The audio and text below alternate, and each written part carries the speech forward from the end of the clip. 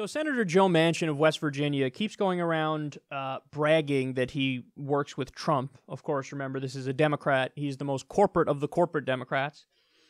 Um, and it backfired recently. So Joe Manchin uh, was on Fox and Friends talking about how, oh yeah, sure, I cheered for the president a lot during the State of the Union because hey, I'm all about coming together and bipartisanship, and isn't this stuff great? And so he he does his little uh, song and dance where he acts like, "Oh, I'm so reasonable. I'm so in the center. Aren't I the best?"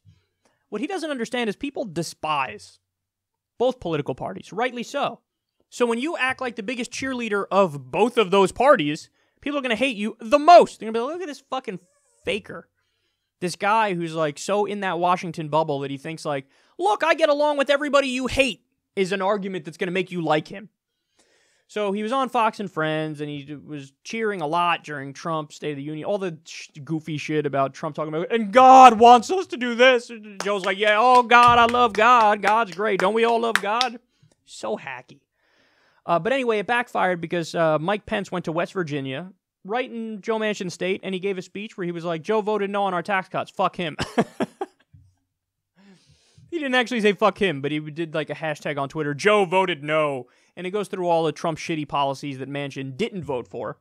By the way, Manchin votes with Trump a significant chunk of the time, I think more than any other Democrat. Um, so it's good that he didn't vote for Trump's tax cuts, but for example, he voted for Wall Street deregulation. So the problem with Joe Manchin is that he doesn't vote against Trump enough. Not that he doesn't vote for Trump enough, uh, Trump's shitty policies. So, but isn't it amazing? It goes to show you the mindset of these Republicans. It's like you take the Democrat who agrees with them the most, and they still spit in his eye. Now, on the flip side, the Democratic Party, I mean, if there's a Republican who acts like they're, you know, like Susan Collins, for example, the Democrats embrace Susan Collins with open arms.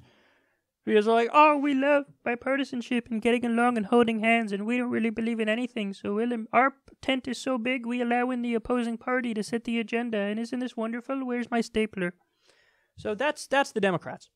But anyway, the reason I'm talking about Joe Manchin is actually not because of that. That's just a little, you know, side point about how much of a bitch he is and how it's so easy to take his message and twist it and have the Republicans shit on him anyway. And it's like, well, if you're gonna, they're going to shit on you anyway, why not actually do the right thing and fight for the people of West Virginia? But no, he sells out the people of West Virginia every time. And then the Republicans are like, why don't you sell them out more? But the reason we're talking about Manchin is I want to give you an update on what Paula Jean Swearengin is up to. Paula Jean Swearengin is Joe Manchin's primary opponent.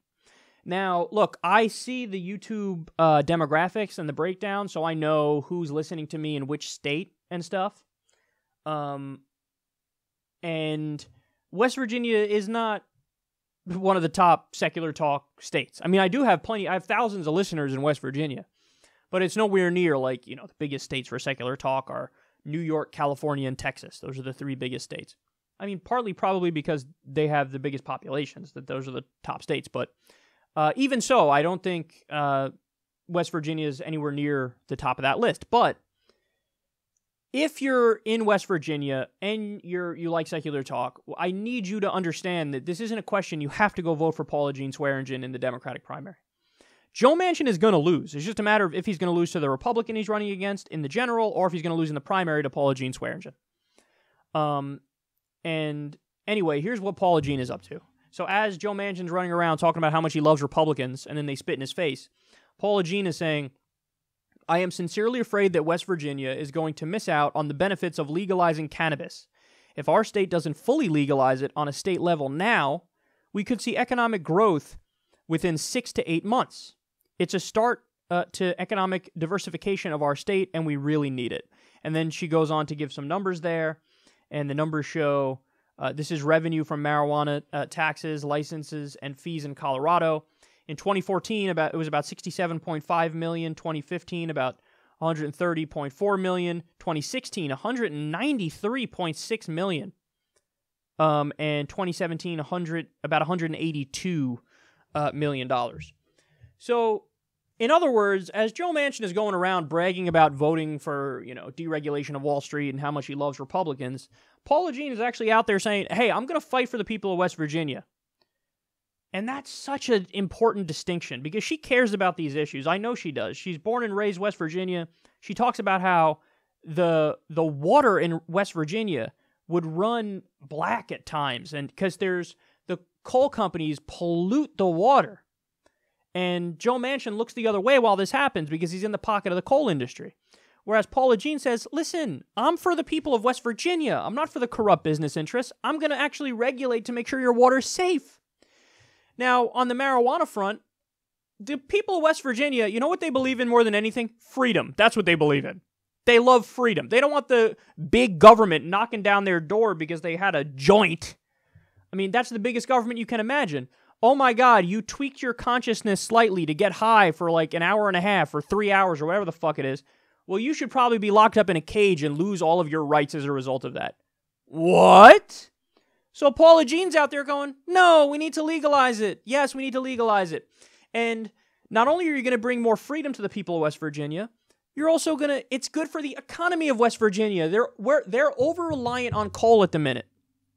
So what does Paula Jean say? Well, let's have the marijuana industry become a big industry there. But she also talks about we need a new New Deal. We need an infrastructure bill. We need to get people. What if the the hub of renewable energy became West Virginia? Well, you can make that the case with a new New Deal, and that's what Paula Jean is going to fight for. So, and I've been telling you guys all along, man. Listen, there's this goofy ass thought in corporate Democratic minds of, well, I don't even know why we're bothering. We got to give up on Alabama and Kentucky and West Virginia because, oh my God, those are right leaning states and we're never going to win there. Why waste our time? That's what the corporate Democrats say. You know what I say to that? They're 100% wrong. Now, why do I say that? Because you haven't given them the option of populist left. You've given them the option of corporate Democrat. You've given them the option of, hey, we'll give you some platitudes and cliches, but then vote with Wall Street and be overly focused on identity politics. Like, but people don't want that in West Virginia. What they want is somebody who's going to fight for the people. So they want somebody who says, I'm not going to sell out to corporate interests. I'm going to fight for you to have health care with Medicare for all. I'm going to fight for a living wage for you. I'm going to fight for unionization so you get uh, better benefits and better wages. Um, I'm going to fight for a new New Deal. I'm going to end the wars and reinvest in our country here at home. If you give the good people of West Virginia that option, they're going to take it. But it's just a matter of giving them that option and then spreading the word you know, speaking through that megaphone and letting everybody know, hey, there's another option. And there's so much evidence to suggest that these people are would vote for populist left if they knew it's on the menu. I mean, look at the town hall that um, Bernie Sanders did with Chris Hayes in West Virginia, in Trump country. A room full of Trump voters. Bernie answered all their questions, spoke about all the political issues of the day, and he got them to applaud for Medicare for all and a living wage. Isn't that amazing? He's getting them to applaud for ideas that are considered far left. But those people said it. The only reason we voted for Trump is because we thought he wasn't going to outsource our jobs, and Hillary was. We thought he was going to bust up the establishment. That's what they said.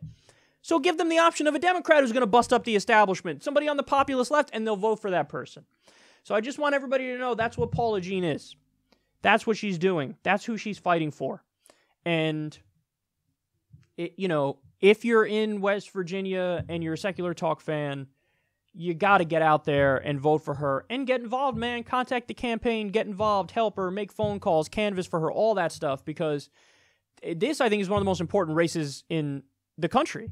And this sends a strong message, a, such a strong message to Washington that you are done with their bullshit. You're done with corrupt Republicans, you're done with corporate Democrats, and you're ready f- uh, for a government that's going to fight for you and the ideas and policies that you want.